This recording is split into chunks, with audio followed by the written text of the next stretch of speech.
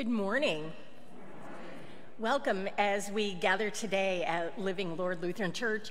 My name is Dawn Ruka. I am a pastor. Uh, pastor Sue and I have gone to seminary together, so we are longtime colleagues and, and friends. So it is an honor to be with you. My husband and I are uh, neighbors. We live just down the road in Bartlett, and uh, so it's a, a joy to be here with you today. Today we will hear 5,000, one of only one of only sh- uh, the shared stories that is in all four of the Gospels. We'll hear from John's Gospel about how Jesus invites us to consider a, him in a new way as we take him in completely. So today, I hope you'll begin this service with me by breathing in deeply, letting out all those worries and cares, and feel the Spirit of God's grace, wonder, and love. May He be with you today. Let us join together in singing our opening hymn.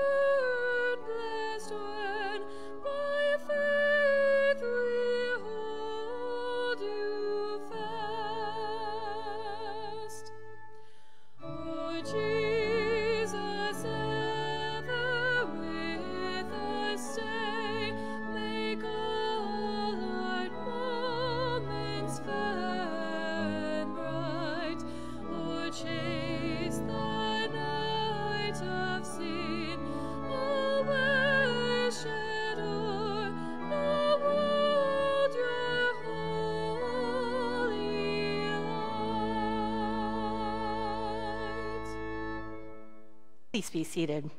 May the grace of our Lord Jesus Christ, the love of God, and the communion of the Holy Spirit be with you all.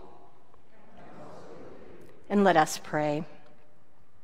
Gracious God, your blessed Son came from heaven to be the true bread, the bread that gives life to the world. Give us this bread that we may that he may live in us and us in him always, and strengthened by this food that we live as his body in the world. Through him, the living bread of life, Jesus Christ our Lord. Amen. The Word of God.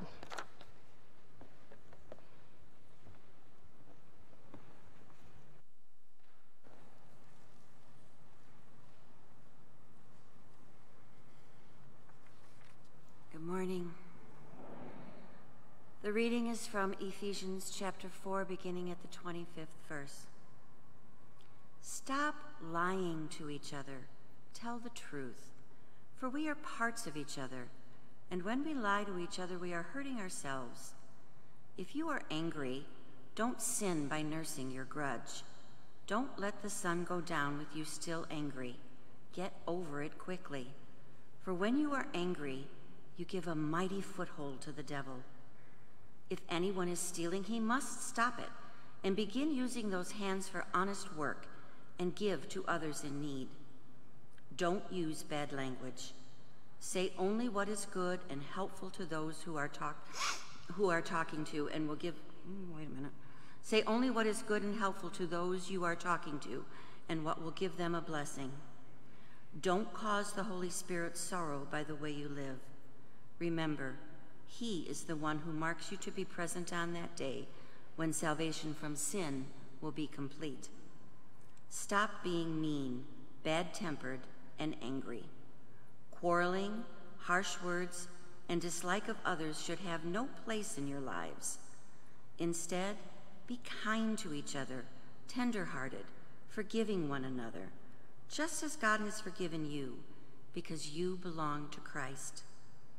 Follow God's example in everything you do, just as a much loved child imitates her parents. Be full of love for others, following the example of Christ who loved you and gave himself to God as a sacrifice to take away your sins. And God was pleased, for Christ's love for you was like sweet perfume to him. Get rid of all bitterness, rage, and anger, brawling and slander, along with every form of malice. Be kind and compassionate to one another, forgiving each other, just as in Christ God forgave you. Follow God's example, therefore, as dearly loved children, and gave himself up for us as a sweet, fragrant offering and sacrifice to God. Here ends the reading. Please rise as you are able to receive the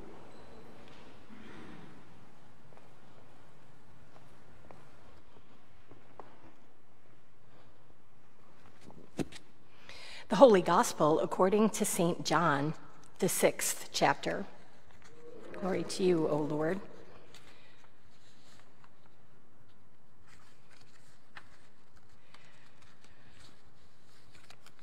Well, I'm going to see if I can actually give it to you from memory today. I, I, I, realize that, and I invite you to, to join along with me. Jesus said, I am the bread of life. Whoever comes to me will never be hungry again. Whoever believes in me will never be thirsty, but you haven't believed in me, even though you have seen me. However, those the Father has given me will come to me, and I will never reject them. For I have come down from heaven to do the will of God who sent me, not to do my own will. This is the will of God, that I should not lose even one of all those he has given me, but that I should raise them up at the last day. For it is my Father's will that all who see his Son and believe in him should have eternal life. I will raise them up at the last day. Then the people began to murmur in disagreement because he had said, I am the bread that came down from heaven. They said, Isn't this Jesus, the son of Joseph? We know his father and his mother. How can he say he came down from heaven? But Jesus replied, Stop complaining about what I said. For no one can come to me unless the Father who sent me draws them to me. And at the last day, I will raise them up. It is, as it is written in the scriptures, they will all be taught by God. Everyone who listens to the Father, learns from him, comes to me. Not that anyone has seen the Father, only I, who was sent from God, have seen him. I tell you the truth anyone who believes has eternal life. Yes, I am the bread of life. Your ancestors ate manna in the wilderness, but they all died.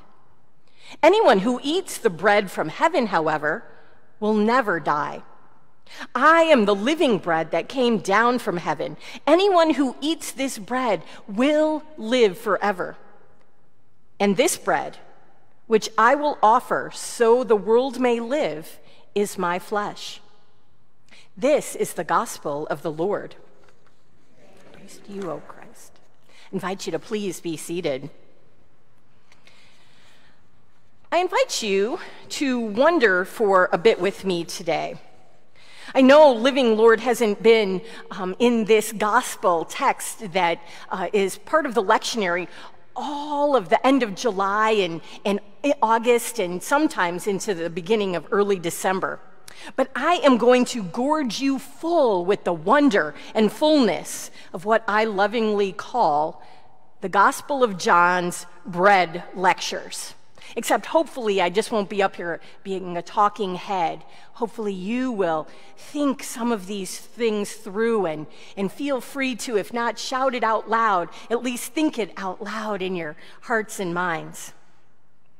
So, just a brief recap. Many Christians have been hearing uh, for weeks this feeding of, uh, from John of the feeding of the 5,000 and its aftermath. The basics are after some hard road work, Jesus tries to draw the overwhelmed disciples into a retreat. But mass crowds follow the hungry for more of Jesus. Seeing them, Jesus recognizes their investment in following him. And perhaps he considers that a hangry mob could get ugly. So he gives the disciples a test on their beliefs uh, on the sham or fairy tale, if you will, of the, the scarcity model and the miracles in comparison with the miracles of abundance. So, with five loaves and two fish, Jesus feeds the throngs with 12 baskets left over. And he proves that he is more than enough. When Jesus saw that they hungered now to make him an idol king of all things, he and the disciples hightail it across the lake. But the persistent, hungry horde swarmed after them. Now, Jesus stood up to their misintentions, but their tummies did all the talking. They're desiring rather than their hearts. You see, this ravenous crowd doesn't really know where their bread is buttered. They marveled at the miracle of yesterday, but never gave God thanks generously. They never wondered about God's generosity. Today, they come following Jesus, and it's clear they experienced no miracle in the feeding the day before. The people are still just concerned for their bellies. Jesus, however, is concerned for their lives. The people want to feed themselves with free daily bread. Jesus wants to feed them with God's free gift of grace. Jesus tells him, them that he is the bread of life. If they consume him, they will never be hungry again. With this wondrous bread, they will live forever. They don't quite get it. I wonder how often we don't really get it either. Too often, God's people refuse or, or cannot see the mercy and manna that God sets before them or us. The stomach, our basic instincts, is our driving force. For all of the things we crave and we think we lack, all of the things we imagine would make life better for us. We hunger, too, for what we do not see and seek many other tastes. And so I think most of us miss the miracle, even when we think we have hold of it. How many of us ignore what is right in front of us? The miracles of each day. We are often seeking far less than what God richly gives. I think we rarely catch the divine wonder. So let me ask you do you ever wonder about bread? In 1921, Elmer Cline was at a fair in Indianapolis when he saw hundreds of hot air balloons in the sky. The sight of them filling him with a sense of awe and wonder and amazement. And that became the inspiration for his company's new product. His company was the Taggart Bread Company, and his product? Wonder Bread. Taggart was the first to offer sliced bread, the first to slow bake and take the air bubbles out of the inside. This bread, the white, sliced, enriched bread in the bright balloon dotted bag, was a miraculous convenience for America. Now, bread had been around for thousands of years in every culture. It's certainly a symbol of the necessity of food and sustenance. It's nutritious, providing important essentials in every, uh, in every body. It's easy to make, and yet slightly different in every culture. But bread is essential. For us and for many cultures, however, speaking for myself, of course, we get too much of it. And yet, still, we all know that there are millions going hungry every day. Just around the globe, in, say, Sudan, people are dropping dead for the lack of bread. People exist on just one small meal a day too much and too little bread. It makes me wonder. Gandhi once said that, and it still stands today, that there are people in the world so hungry that God cannot appear to them except in the form of bread.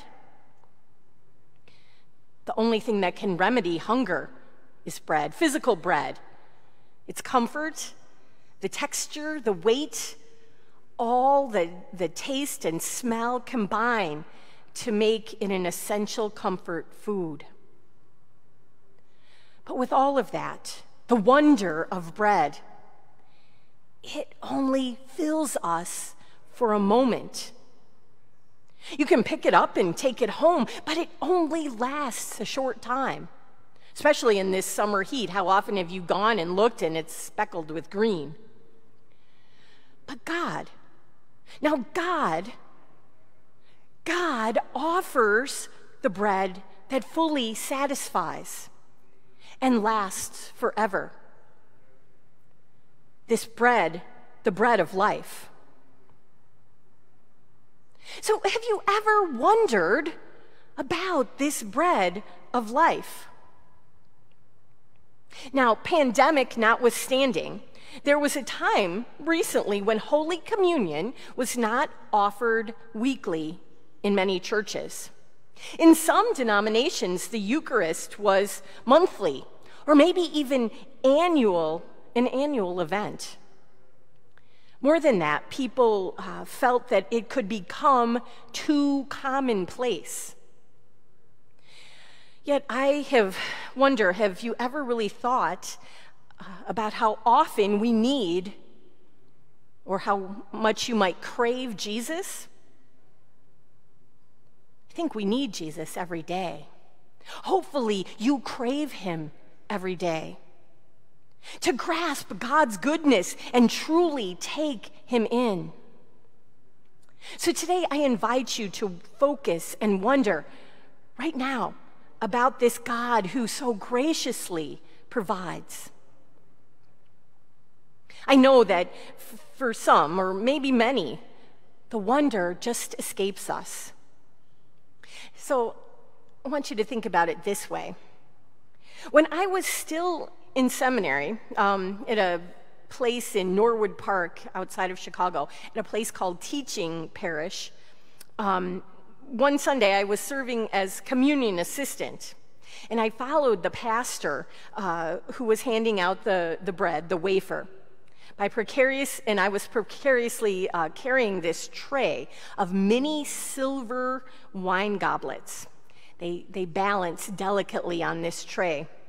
And as I was approaching uh, to give a nice blue haired lady uh, her little goblet of wine, I heard her lean over to her friend and say, This, disdainfully holding that wafer, this is the foretaste of the feast to come?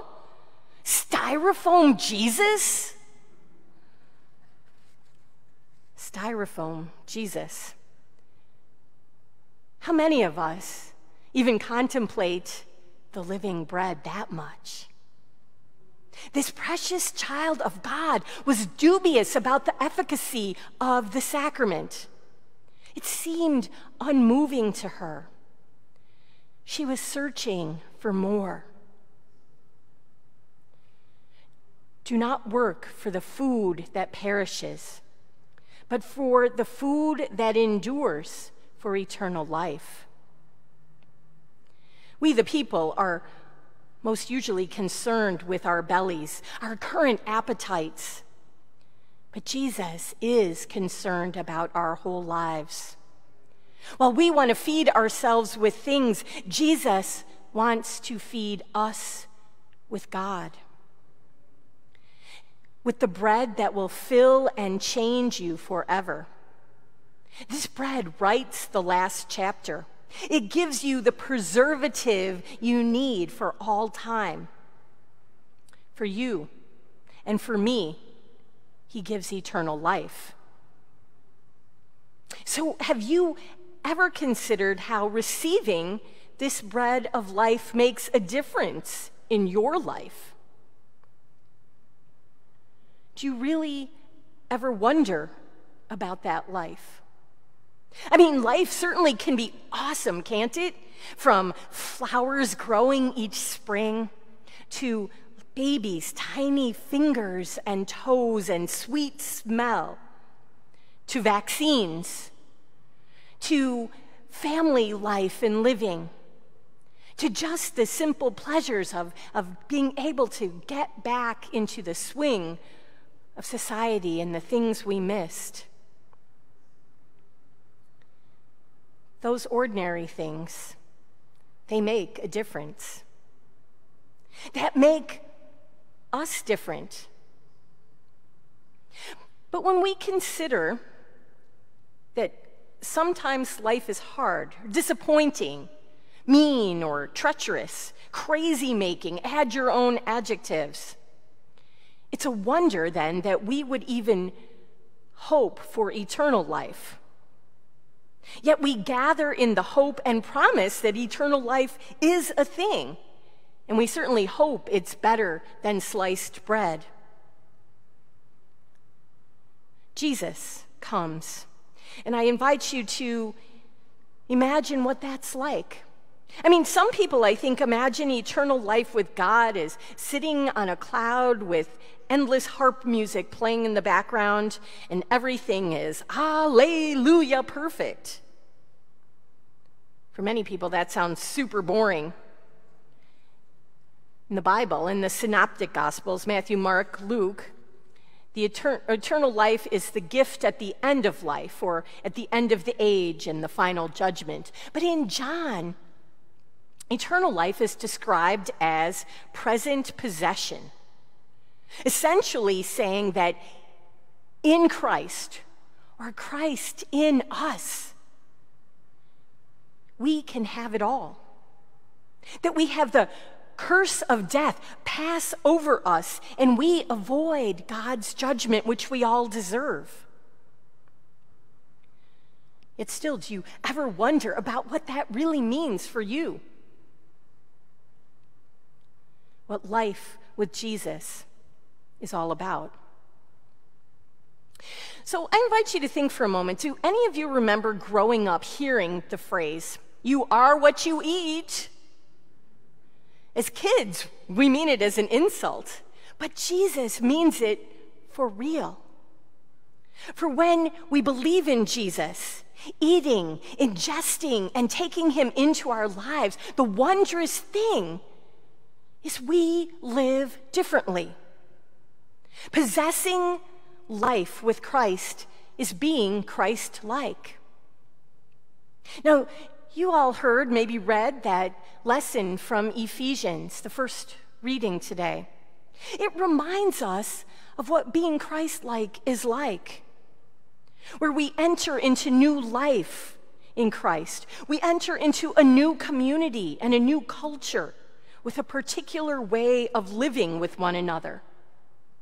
That lesson reminds us that new life means letting go, releasing what is false, and adhering to the commitment to speak the truth to one another. The church is the place where truth can be spoken. The difficult truths about our world and about ourselves, and the gracious truth about this God who redeems us.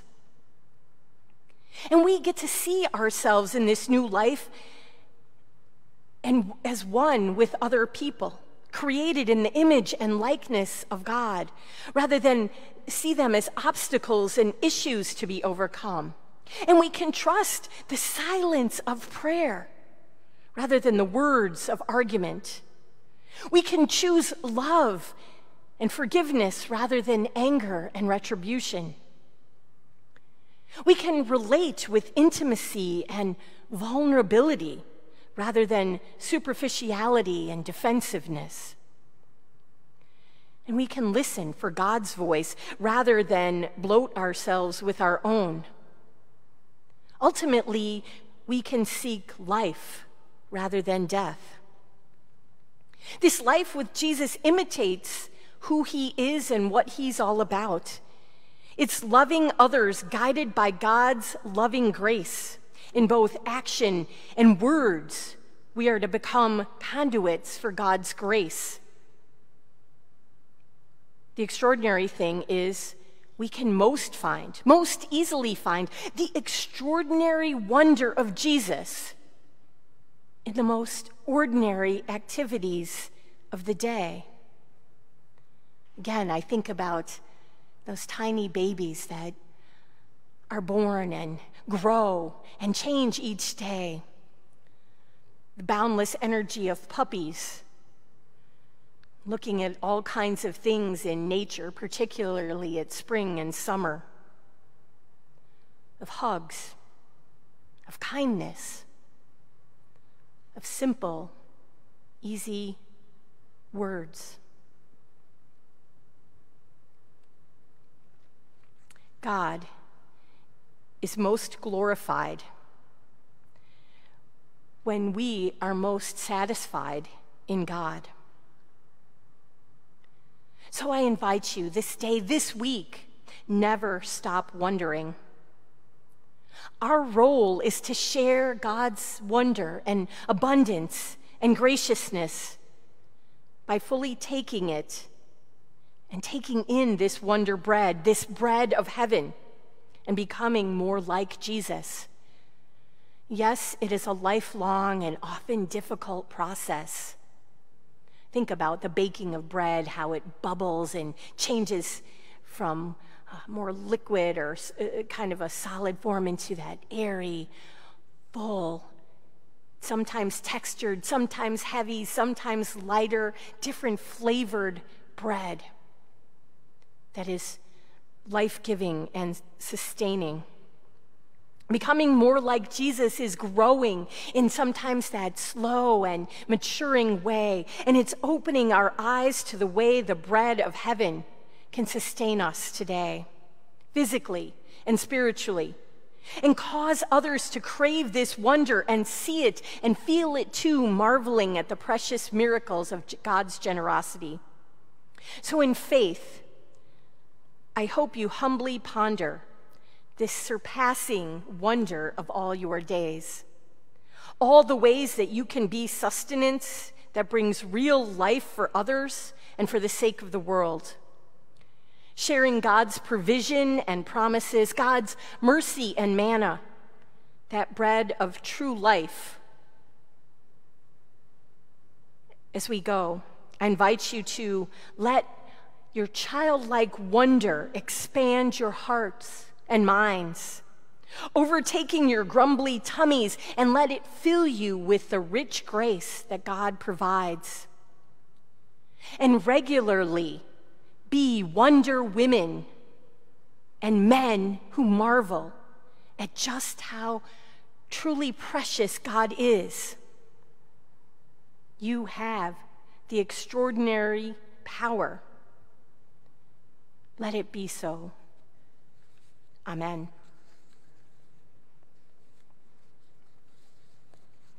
Won't you join me in singing our song of the day, Soul, Adorn Yourself with Gladness?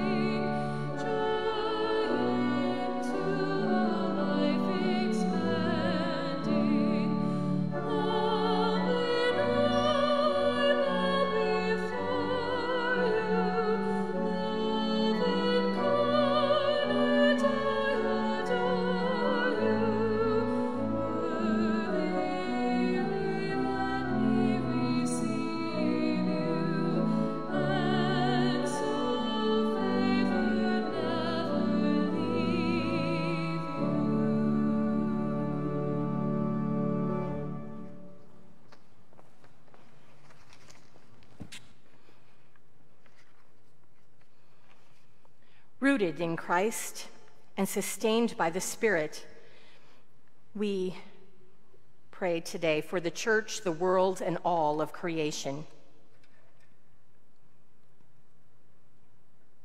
For the church of Christ in all its diverse forms, for mission developers, new mission starts, and all communities of faith exploring new models for ministry for the sake of the gospel. For congregations facing difficult decisions about their future for all churches who face change in the life of the pandemic. We ask, O oh God, your mercy. Hear our prayer. For the health and well being of creation and shade trees that provide refuge from the hot summer sun.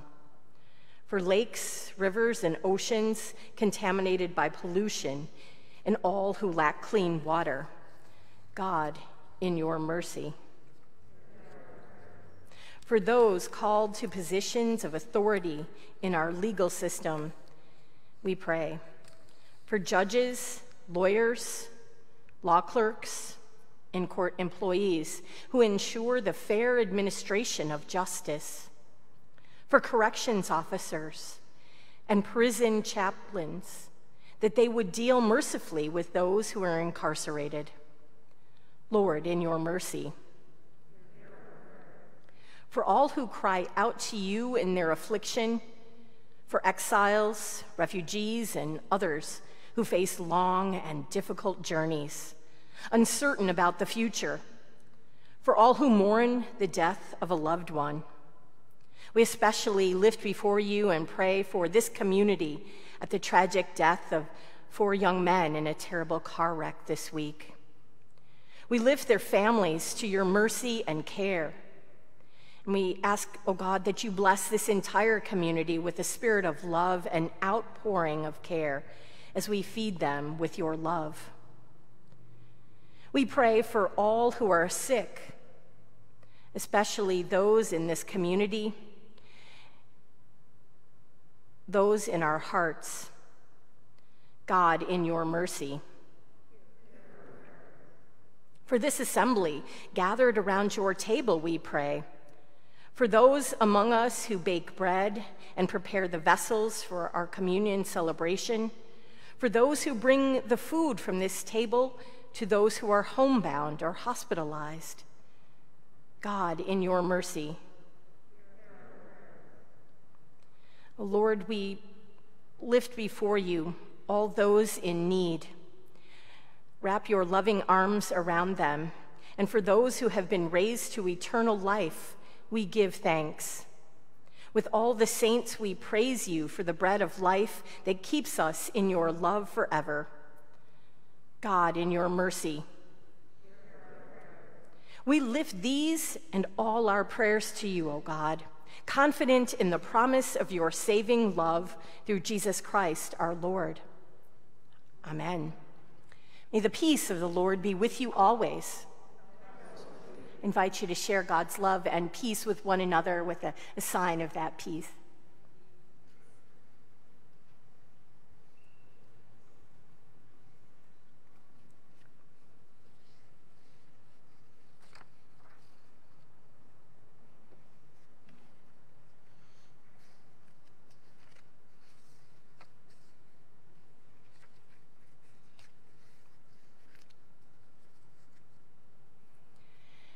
Jesus, our bread of life, you have set this table with your very self, and we are thankful.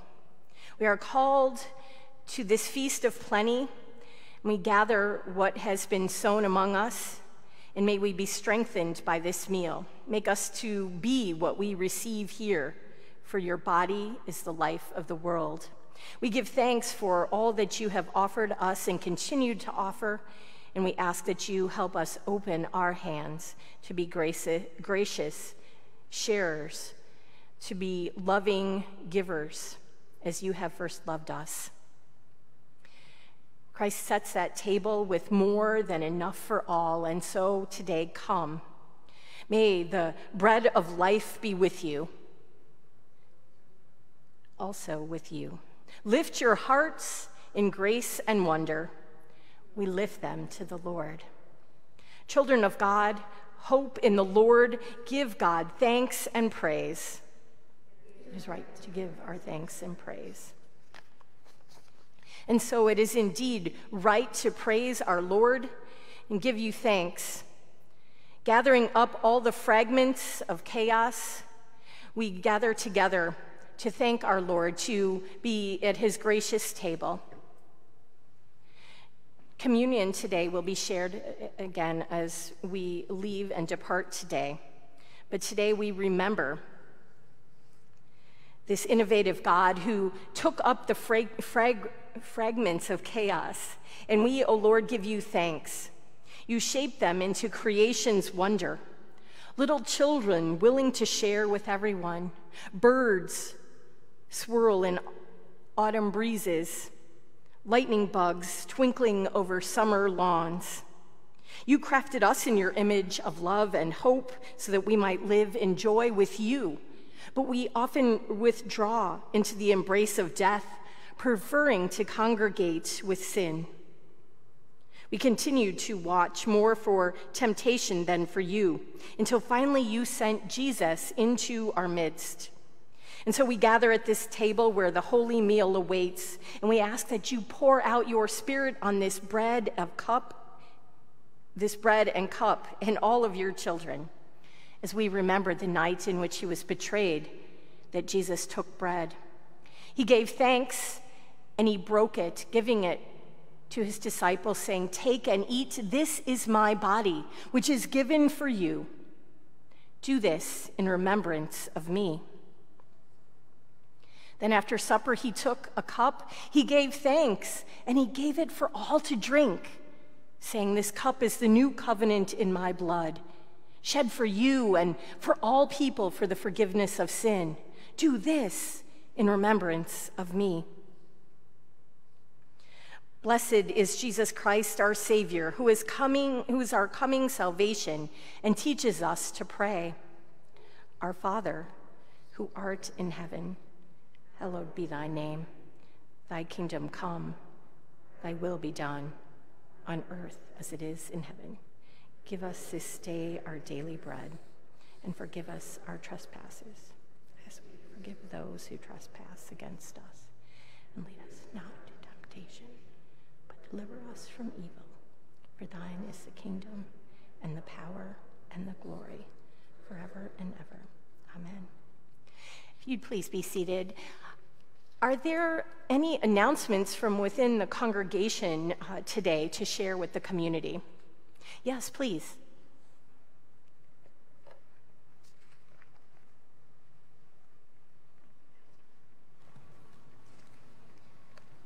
This is just a reminder and maybe a new announcement for some of you that I have created a new nonprofit, uh, faith based, called See Something, Do Something Good. And we will be traveling to Cincinnati in two weeks to do some good there, to continue a project we started seven years ago with a youth group. Um, and I will be uh, selling the glass Hershey, Hershey's Kisses at the back of church afterwards. They're $15 each. Thank you very much for your continued support. Other community announcements to share. Pastor Sue is uh, traveling. Uh, she should be back uh, this weekend. She had to go to a funeral that she was uh, helping conduct, uh, a family funeral. So we lift her and her family uh, in prayer as they travel as well. With that, I also want to give a word of the day. Can anyone guess what it might be? Bread or maybe wonder as well. Well, with that, I do invite you to uh, please stand. And as you make yourself ready to go out, please receive from the ushers this true bread, this living bread from heaven, this meal that sustains us and will carry us through our life eternally. Jesus, bread of life, we receive from your table more than we could ever ask. Nourish us in this meal, strengthen us to love the world with your own life. In your name we pray. Amen. And let us sing together our closing song, Be Thou My Vision.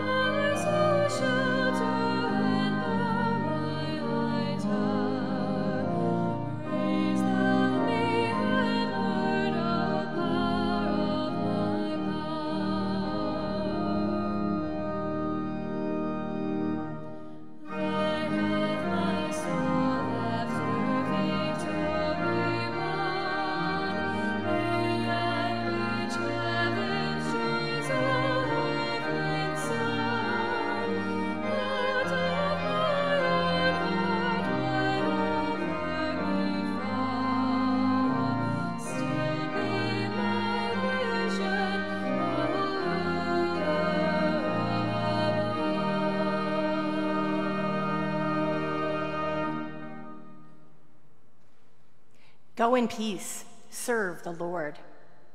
Thanks be to God. May the peace of Christ be with you always.